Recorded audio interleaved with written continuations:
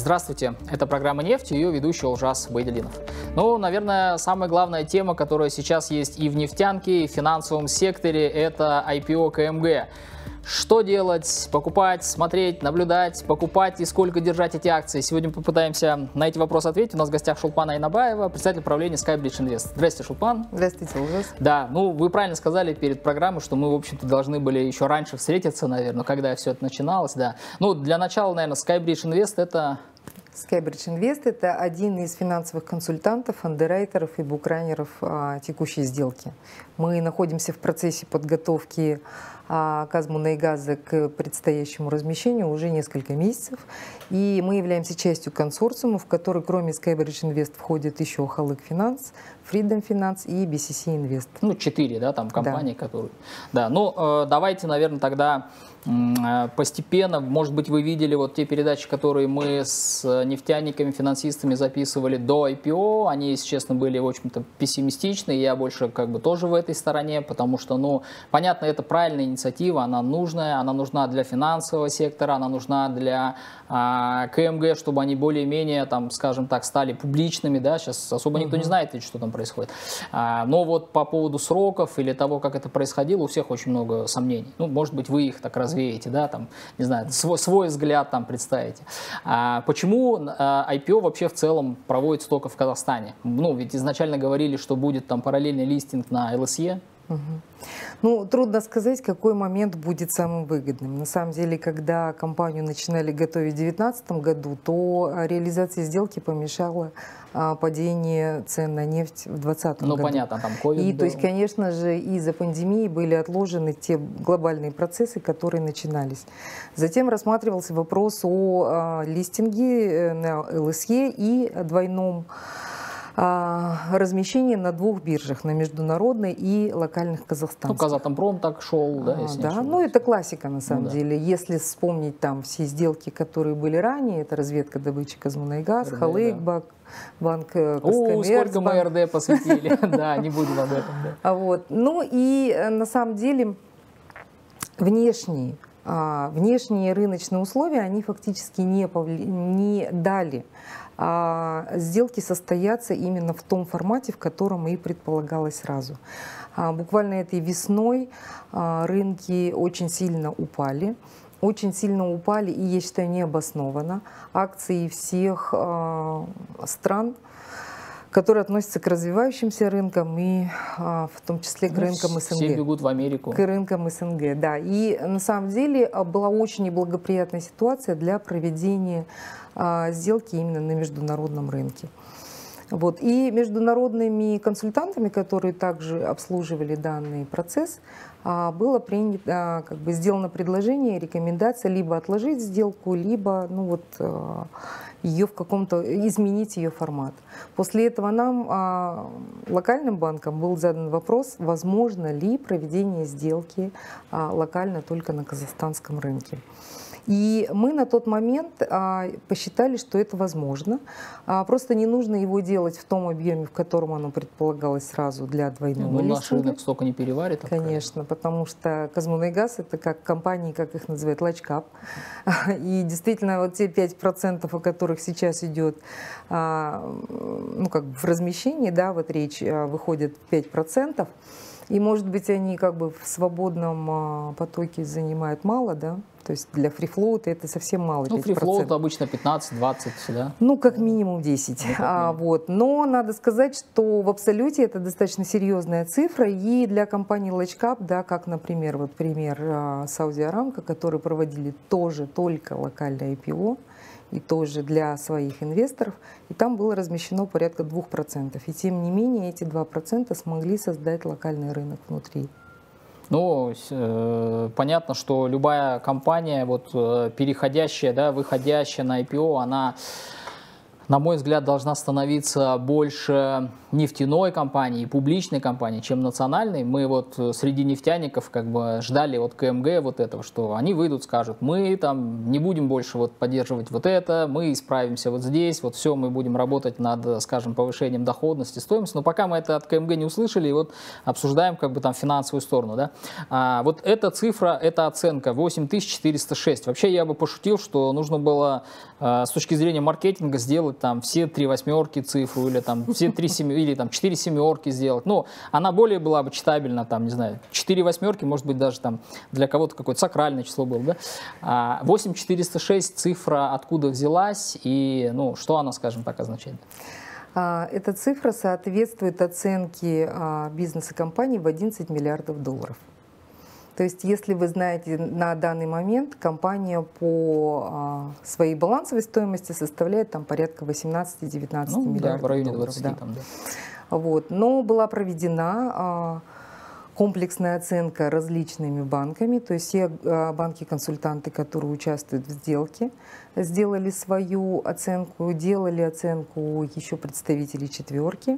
Да, мы сейчас сможем посмотреть, кстати, вот график у нас первый. А, вот, и после этого были выведены, э, были сделаны выводы о а, среднем уровне справедливом а, справедливой стоимости бизнеса «Казмунайгаз». И в среднем компании сошлись на уровне 14-16 миллиардов долларов. 14-16 миллиардов. Ну вот, э, да, мы сейчас видим, да, график. А, да, можем посмотреть эти графики. Это оценка нет, предыдущую давайте. Да. Там, где вот оценка у нас приведена от э, компаний, да? А, да, да, да, да, да, все верно. А, Skybridge, э, Халык Финанс, BCC, э, Халык и еще какая-то пятая, да, там у нас я так не Жусан Инвест, он а, участвовал в нашем консорциуме, но их мнение о справедливой стоимости и о цене было сделано в процессе э, Investor Education. Mm. Есть такие процессы в поряд... э, при IPO. Ну, то есть сторонние, скажем так, мнения которых не не участвующих, правильно? Так а, VDI называется предел Investor Education, когда угу. аналитики а, банков, которые консультируют эмитента, а, вместе со своими отчетами выходят на обучение аналитиков сторонних, абсолютно сторонних институциональных аналитиков с рынка. И а, после этого дается время на ну, как бы, наверное, на то, чтобы они сами сделали свой анализ, то есть угу. или сверились уже с тем анализом, который сделали мы.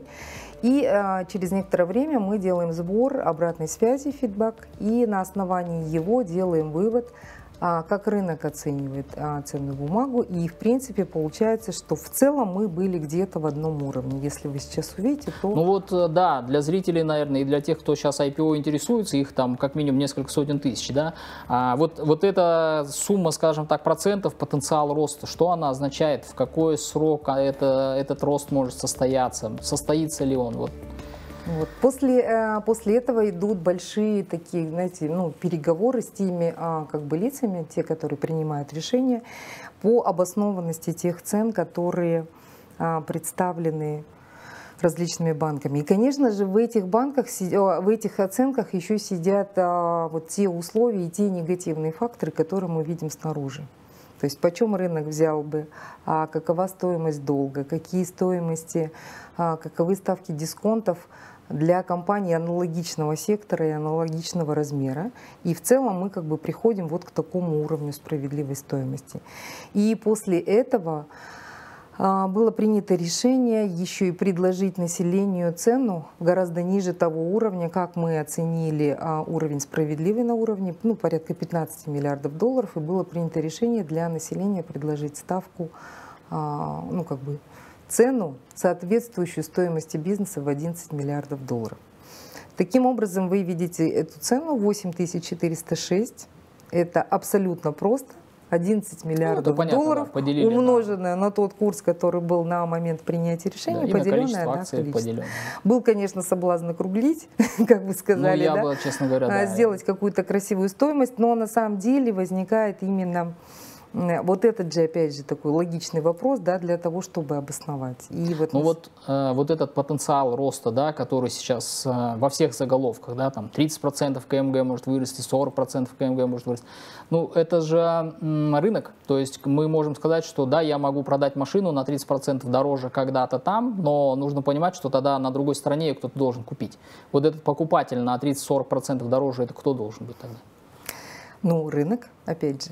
Но, Но ну, на самом деле вот готов. этот потенциал роста – это та стоимость, которую, а, тот дисконт или вот та разница между справедливым уровнем, как мы оценили каждый из нас а, эту а, компанию, и а, ее акцию, и той ценой, которая сейчас предложена. То есть у Skybridge Invest уровень справедливой стоимости составляет 11 а, 693 тенге за одну простую акцию. Если сравнить с 8406, у нас там выше 36%. Ну, плюс 36. Вот. И а, логичный вопрос, который вы задали, который очень часто сейчас задают а, нам, а, в течение какого времени мы увидим эту справедливую вот стоимость. Да. И а, я бы здесь на самом деле а, не рассматривала все-таки краткосрочную а, перспективу, а скорее ну, смотрела 3, бы, скажем, да, там. скорее бы, скорее, скорее, скорее смотрела бы на среднесрочную и даль, дол, долгосрочную перспективу, потому что, на мой взгляд, компания «Казмунайгаз» — это уже зрелая компания, и она, эта компания, и как все нефтяные компании, она в большей степени должна представлять не дивидендную историю, а историю роста. Ну, э, у нас у нефтяников общее представление, что мы сейчас покупаем не КМГ, а Тингис, ну, скажем так, потому что сам КМГ, он больше такой убыточный, он социально направленный, и потенциал роста, например, у КМГ, это вот сейчас э, проект будущего расширения Тингиза, который должен как бы дать больше нефти, дивидендов и все. Если не ошибаюсь, сейчас, по-моему, 60% чистой прибыли – это доля в других компаниях, да, да? ну, то есть там в да. трех китах. Хорошо, вот мы, кстати, можем посмотреть второй график, который мы э, уже смотрели. Это по собственному капиталу, количество акций. Да, вот э, мы сейчас видим, да, 8,9 триллиона тенге, это порядка 19 миллиардов долларов собственный капитал, э, количество акций, стоимость одной акции, ну, это вот справедливая, да, скажем так, стоимость, э, которая была, и та стоимость, которая заявлена. Вот э, сейчас Шулпан об этом говорил. 14 а, тысяч, да, вот где-то звучит цифра, 11 тысяч. Вот потенциал... Здесь мы видим точно, да, что это 0,6. 0,6 а, от балансовой стоимости, и на самом деле точно потенциал роста здесь имеется. Да, да, да. Я про вот балансовую стоимость, про книгу тоже писал, что на самом деле очень удивительно, что КМГ сам себя оценивает ниже собственного капитала. И, ну, я даже в аналитике писал, ну, какая-то очень маленькая сумма, 11 миллиардов долларов, с учетом того, что мы нацкомпанию строили 20 лет. Ну, сейчас Каспи оценивается рынком дороже, чем КМГ. Как-то, э, ну, или там Казатомпром сейчас, по-моему, да, сколько они там, 8 миллиардов у них капитализация. А, понятно, что есть потенциал, как бы мы по поводу этого, в общем-то, не спорим, потому что если КМГ разделить по активам и посмотреть, наверное, да, он стоит дороже. А, что есть из рисков вот сейчас у КМГ вы видите? Или, может быть, там, чуть позже?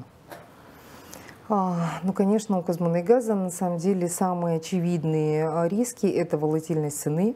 И мы, наверное, в последнюю неделю тоже столкнулись с ну этим. Ну да, да там сейчас сколько, меньше 90 там. припали а, по сравнению с тем, как, а, как бы в течение года на каком уровне цена находилась. И, э, к сожалению, это тот риск, который э, находится абсолютно не под управлением компаний. И, ну, а, на самом деле, вот те потенциалы роста и а, вот ту справедливую оценку, которую мы делали, она на самом деле базируется на среднем ожидании, на самом деле а, не оптимистичных цен. То не есть, оптимистичных. Да. То есть здесь заложено сколько? 70. Доллар? А, 70. Да. Вот вы сказали а, про неуправляемость нефтяных цен, тогда у меня вот такой каверзный вопрос, я его, кстати, задавал Даврену Сапараличу, финансовому директору КМГ.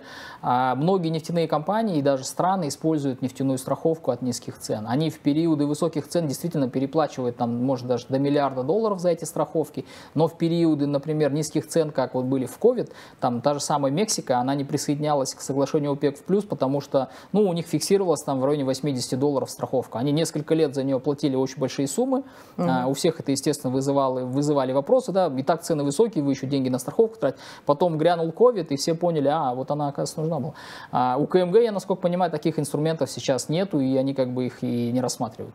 Ну, на самом деле они рассматривают только а, возможность выживания м, и а, работы компаний при любых а, внешних ценах. И фактически как бы рассматриваются сценарии, да, которые позволяют все-таки комфортно работать. Ну, там ну, в общем-то, многие пессимистичные достаточно уровни цен закладываются, но страховку пока не рассматриваем. Ну, хотелось бы, если честно, увидеть такой от КМГ. А, мы можем, наверное, сейчас э, третий график да, посмотреть. А, Сейчас вы его увидите, и мы его заодно прокомментируем. А, это количество физлиц. А, это все данные, кстати, Skybridge, это не мы готовили. А, это количество физических лиц в Казахстане, которые инвестировали, скажем так, открывали счета инвестиционные. Да, я правильно, наверное, так mm-hmm. выражусь, да? То есть не инвестировали, открывали инвест-счета. И какое количество было? Ну вот на момент IPO Казтрансойла их было 54 тысячи, я, если не ошибаюсь, в самом IPO КМГ участвовало 40 тысяч, там 39 34. А, 34. Это вот премия я точно могу вам А, ну сказать. ну хорошо, пусть 34. Я в тот момент возглавляла Каскомер Securities, которая была единственным консультантом А, все, тогда, тогда все, бесспорно, я дальше не буду спорить. А, ну, видим, в принципе, что этот рынок в Казахстане развивается, да, там 440 тысяч э, это на э, ну, примерно на конец этого года. А, сколько из них а, может участвовать в IPO КМГ, вот по вашей оценке? Ну, а на самом деле, почему выделены именно вот эти сделки? Это те сделки, которые сопровождаются э, такой широкой массированной рекламой и а, работой с, с потенциальными инвесторами. И поэтому в сравнении ведутся, берутся именно вот эти сделки и а, выводится такой средний подход. Но а, в 2022 году мы, мы пришли к тому, что а, за счет цифровизации, за счет а, изобретения новых абсолютно удобных способов коммуникаций в виде мобильных приложений, как банковских, так и а, брокерских. И кроме того, то, что крупные банки сейчас тоже а, получили возможность оказывать брокерские услуги также на рынке корпоративных ценных бумаг, мы в 2022 году, мы на самом деле сейчас испытываем огромный прирост а, то базы, есть это еще, скажем базы так, розничных без лиц. эффекта цифра, да? Да, и то есть на самом деле вопрос о том, что 440 тысяч, эта цифра такая достаточно усредненная, эта цифра была на конец полугодия, когда у нас только начиналась а, наша массированная информационно-образовательная программа. А сейчас мы ожидаем, что количество открытых счетов, возможно, подойдет к числу 800 или 900 тысяч. Ну и, наверное, а, по нашим ожиданиям, что в сделке должны принять участие не менее 130 а то и 150-180 тысяч. Ну вот летом мы тоже так э, критиковали КМГ в плане того, что вот эти финансовые пирамиды, которые на IPO КМГ идут, они, по-моему, более активно пиарятся, если честно. Видели, наверное, да, в, этот, э, в Google Play, там на, на, в, топе, в стопе скачивания вот это левое приложение по Знаете, я даже сама пострадала да, а, от этих мошеннических приложений, потому что мое лицо использовали да, что? в одной платформе, и там прямо такой призыв был. Там, правда, не было связано с Казмуной газом, а просто с финансовыми пирамидами, mm-hmm. но было как бы это. Я заплачу вам каждому 100 тысяч долларов, да? если вы в течение шести месяцев не станете миллионером. Нет, не говорят на улице, я вас... Не-не-не, там целый список людей выстроился, чтобы мне предъявить. Ну, это так, шутку, друзья. Ну да, понятно. А, но у нас э, немного времени остается, наверное, ключевой вопрос, который, да, сейчас всех волнует, и тех, кто будет смотреть эту передачу или слушать ее там, да, на нарезках, стоит ли покупать эти акции? Если да, то э, какой портрет, скажем, у этого человека? Э, он должен рассчитывать на ликвидность или он должен приготовиться к тому, что это как бы долгая история на там 2-3 года, может быть, дольше, да, то есть ваш совет как... Э, я на самом деле, как руководитель брокерской компании, конечно же, работаю со всеми да, а, категориями инвесторов, и с краткосрочными спекулянтами, и с долгосрочными. Сама себя я отношу скорее к категории консервативных и долгосрочных инвесторов. И здесь а, вот то, что я собираюсь приобрести акции Казмуна и Газа для себя и для своих детей, я рассматриваю именно в долгую. При этом вот этот потенциал роста, который мы обозначаем в 30 там, 5-36%, я вижу его достижение где-то в среднесрочной перспективе. А в долгосрочной я бы скорее все-таки смотрела на прирост не на сколько-то процентов, а в сколько-то раз. А в краткосрочном Ого. режиме могут, могут. Вы слышали, да? Если не вырастет в сколько-то раз, тогда шелком что делать? Восстановите сумму, да? Или как в рекламе было? Нет, к сожалению, а, брокер не вправе гарантировать ну, я шучу, да. доходности. Вот. А с точки зрения дивидендной да, вот политики, которую сейчас очень много обсуждают, конечно же, и а, я бы не рассматривала Казмуна и газ. Ну, если честно, она печальненькая. Как дивидендную историю.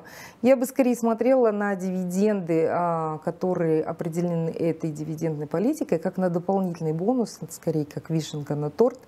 Но я бы хотела для тех, кто читает проспект и саму дивидендную политику, сделать еще какие-то оговорки, потому что там речь идет все-таки о минимальных фиксированных дивидендах, а не о дивидендах, что э, они зафиксированы ну, именно на этом уровне. границы не То есть есть на самом деле там две формулы, которые обозначают либо а, при одном уровне цен на нефть а, до 30%, порядка 30% от а, свободного денежного потока будет направлено на дивидендах, а, либо 50% от свободного денежного потока. Если эта сумма будет меньше 200 или 250 миллиардов тенге, то будут выплачены 200 или 250 миллиардов. Ну да. Скорее это говорит, наверное, о желании... На три года, если не ошибаюсь, да, да это на было три года. Скорее идет о желании эмитента, наоборот, а, закрепить какую-то, а, сделать какой-то, вы знаете, как бы финансовый какую-то подушку, подушку до да. того, что а, дивиденд будет обязательно. Но речь не идет о том, что эти 200-250 миллиардов это вот потолок и больше ничего. Ну понятно, будет. больше может быть, меньше. Да. И в завершении буквально вот у нас э, график, да, завершающий. А, ну Шелпан, вот сейчас мы его увидим на, на экранах, да. КМГ в сравнении с э, остальными компаниями, скажем, то нефтяными, да, то есть если мы рассматриваем КМГ, мы говорим, что, ну я, извините, могу ExxonMobil купить, они ежеквартально платят дивиденды в долларах. Я вот КМГ, кстати, задавал вопрос, вы будете квартально платить? Платить. Нет, мы как бы не рассматриваем такое. Ну, как-то вот тоже вложить деньги, ждать год дивиденды. А как КМГ смотрится в сравнении? Хорошо, плохо? Ну, э, для того, чтобы сравнивать э, компанию, любую компанию в сравнительном да, анализе, применяется таки, так называемый анализ мультипликаторов. И есть самый главный как бы, показатель, и вина, и беда, а, который характеризует именно, ну, можно а, а, сравнивать различного уровня компаний различного уровня. Ну, просто, скажем, здесь э, подход к финансовым показателям. Да, да. и а, на самом деле мы как бы видим, что а, та цена, которая сейчас предложена, 8406, вот, к тому уровню прибыли, который был а, предложен а, который был получен в прошлом году да. и вот в последние а, финансовые а, периоды, соответствует где-то уровню порядка 3-3,5 и вина и беда. Что говорит о том, что на самом деле данная цена находится на справедливом уровне. Ну, на то есть... том уровне, на котором торгуются сейчас нефтяные компании похожего размера и похожего качества.